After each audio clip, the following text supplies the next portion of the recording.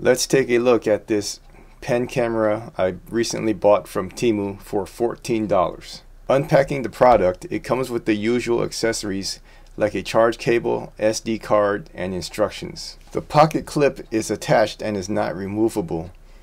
The rotatable lens does move smoothly and goes 180 degrees. These are the infrared lights for night vision, but they're only on one side of the device, so you can only record night vision on this side of the camera. Here's the first problem.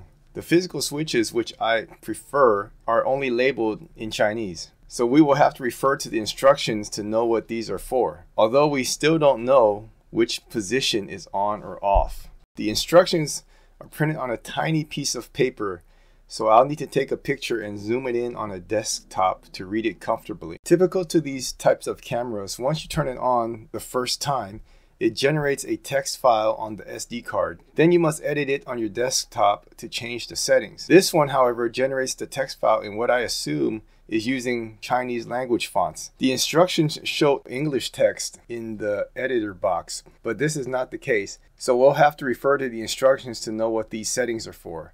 I've tried retyping the entire file in English like it shows in the instructions, but the device will delete and regenerate the original Chinese text. Let's see how well this works. Here's a recording I did outside in good sunlight.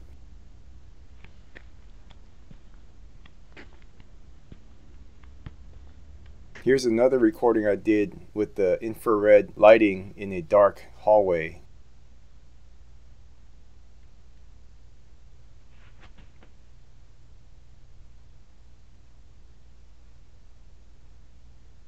quirks aside, like the Chinese fonts and the Chinese labeling, it does work pretty well given that it's only $14 and it has physical switches, so it's easy to use once you figured that out.